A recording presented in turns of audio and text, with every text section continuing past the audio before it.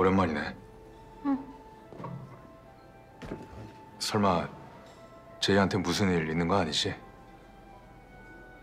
그렇게 치열하게 양육권 다툴 때는 언제고 왜 면접 교섭 얘기를 한 번도 안 해?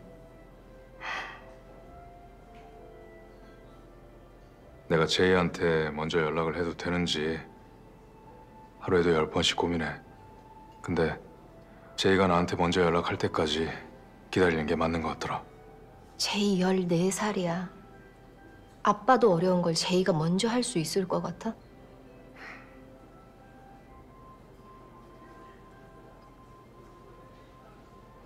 제이도 아빠 그리워하고 있어.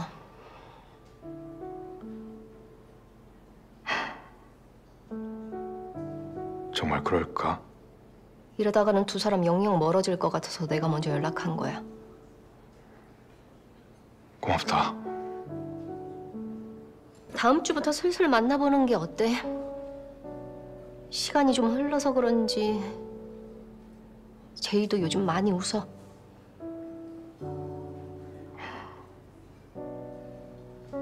제이가 날 보려고 할까?